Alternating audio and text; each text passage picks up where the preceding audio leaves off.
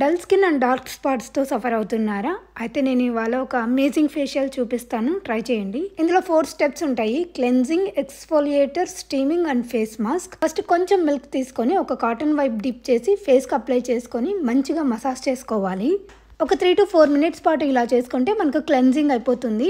Next face wash చేసుకొని మనం exfoliator prepare చేసుకుందాము. దీనికోసం అయితే one spoon rice flour and two spoons milk తీసుకుంటున్నాను. ఇది మిల్క్ ఫేషియల్ కాబట్టి మిల్క్ అన్నిట్లోకి యూస్ చేస్తాము.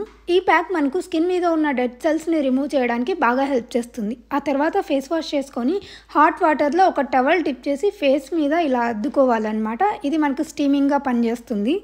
నెక్స్ట్ ఫేస్ మాస్క్ దీనికోసం నేను శనగపిండి కొంచెం టొమాటో గుజ్జు అండ్ కొంచెం మిల్క్ వన్ స్పూన్ మిల్క్ కలిపి మిక్స్ చేసుకొని టెన్ మినిట్స్ అలా ఫేస్ మీద పెట్టుకుని డ్రై అయిన తర్వాత ఫేస్ వాష్ చేసుకుంటున్నాను. మంత్లీ ట్వైజ్ మాత్రమే చేయాలి. దీనివల్ల డార్క్ స్పాట్స్ తగ్గి స్కిన్ చాలా గ్లోయిగా